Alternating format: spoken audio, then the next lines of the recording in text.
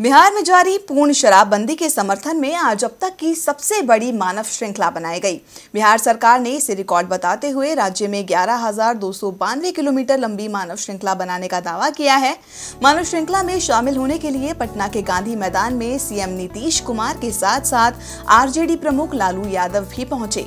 BJP समेत तमाम दलों ने भी मानव श्रृंखला को अपना समर्थन दिया। बताया जा रहा है कि पटना समेत राज्य के सभी जिलों के लगभग दो करोड़ लोगों ने इस कार्यक्रम में हिस्सा लिया था, जो कि एक विश्व रिकॉर्ड होगा। वहीं इस दौरान राज्य के सीएम नीतीश कुमार ने कहा कि शराब पीने से सेहत खराब होती है। शराब के खिलाफ हम लोग आज एकजुट होकर खड़े होने आए हैं। इस दौरान पुलिस और प्रशासन ने सुरक्षा के कड़े इंतज़ाम किए थे।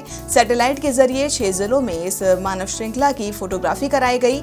इसके अलावा ड्रोन कैमरे से भी दुनिया की सबसे बड़ी मानव श्रृंखला पर नज़र रखी गई थी।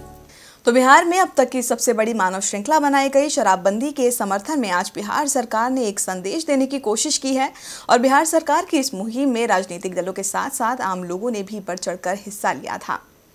देखते रहिए डीबी लाइव